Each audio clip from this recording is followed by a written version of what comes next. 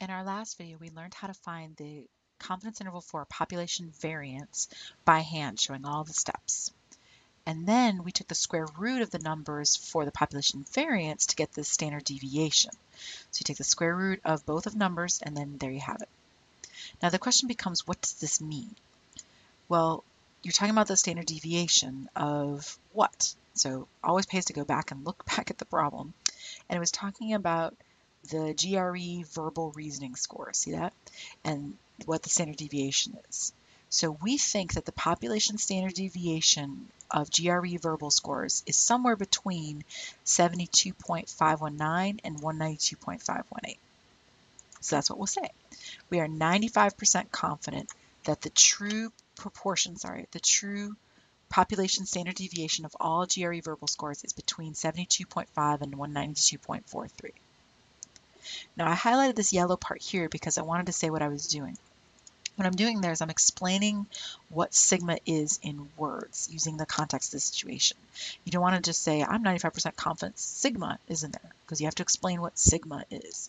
It's the population standard deviation of all, in this case, GRE verbal scores. Also note that you're going to add units if it's appropriate. This particular problem, it wasn't appropriate. But if it was inches or feet or degrees or whatever, you'd throw that in. Now, it's not appropriate to try to use a margin of error argument to find um, the point estimate. Now, what am I talking about there? Let me go back to section 9.2 one second. Here we go. This was the last problem in section 9.2. You could see that you could compute your point estimate of your average right here using the low number and the high number. You'd add them up and divide by 2 and you'd get the middle, right? Because it was the center of your interval. But that's not going to happen with the problems we're on. Let me scroll back to it. Oop, there we have it. And here's why. The point estimate which is S, which was 105.446. We found it earlier. We found it a page ago um, using our calculator right there, 105.446. It's actually closer to the left-hand side than to the right-hand side. And I've drawn a little picture here for you. So here's 105, but it's not in the center. It's over on the left-hand side. And that's because the distribution used to build this interval is skewed right. It's the chi-square distribution. Chi-square distributions are always skewed right. They're not symmetrical, right? Not symmetric, like the z and the t are, right? Like z and t, right? The z distribution, t distribution, they're symmetrical. The chi-square, not so much. And that means that your interval is always skewed right. It's never symmetric. So you're never going to be able to find the point estimate, right? So the point estimate is never in the center. This, the exact center, let's put it that way. It's in the middle, but not the exact middle. It's not right down the center. It's a little bit farther over. And it's always to the left because the distribution is always skewed right that built it.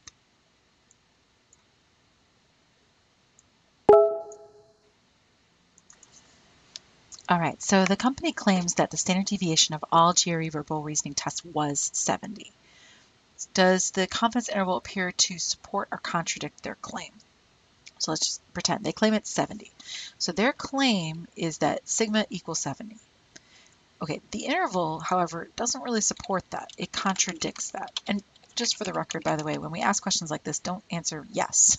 A support or contradict is not a yes or no question. You have to choose support or contradict. So contradicts their the company's claim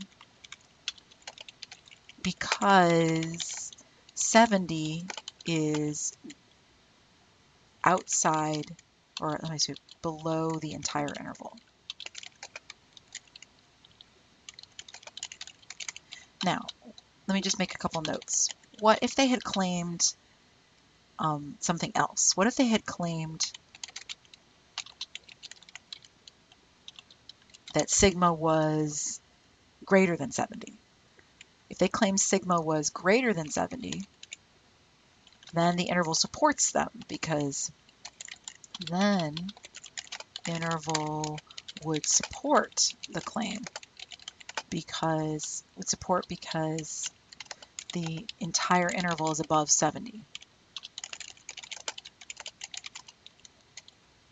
If they had claimed that sigma equals 100, then the interval supports because